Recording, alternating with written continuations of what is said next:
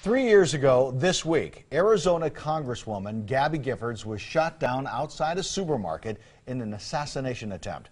Gunman Jared Lee Loughner also shot 19 others, killing six. Today, Mike Sharp sits down with one survivor to talk about that day and about the heroics of a husband she lost.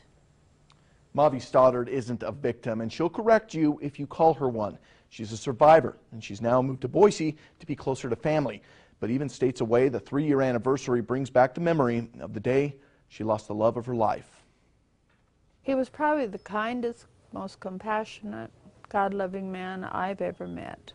And he taught me to be a much kinder person. When Mavy Stoddard talks about her husband Dory, she isn't just talking about the love of her life. She's also talking about the man who saved her life. It was Dory's quick action that kept Mavy from being killed by Jared Lee Loughner when he opened fire at a Tucson mall three years ago this week. I was shot three times in the legs, but he was killed.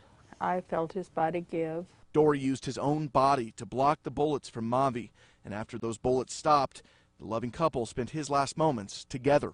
I'm grateful that God let me hold Dory as he died. It took about seven to ten minutes.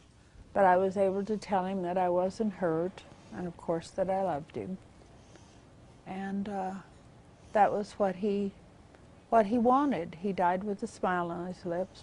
Three years later, the memory of that day hasn't faded, but Stoddard has made her way to Boise, getting her closer to a daughter and grandchildren.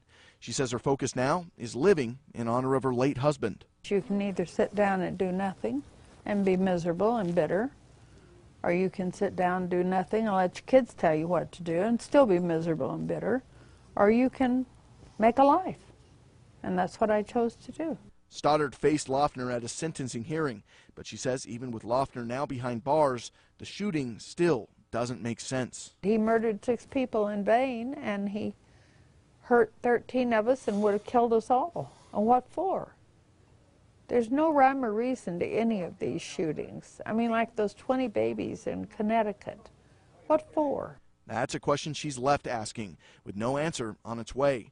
But she says her goal now is to spread what she does know to every person she can. If you love someone, hug them and tell them that you love them before they, you leave them. Nothing on this earth is worth being sorry you didn't. Stoddard says she's found a way to forgive Loughner for the murder of her husband and what comforts her now is her own belief in an afterlife and that she'll see her husband once again. Live in studio, I'm Mike Sharp. Today, 6 on your side.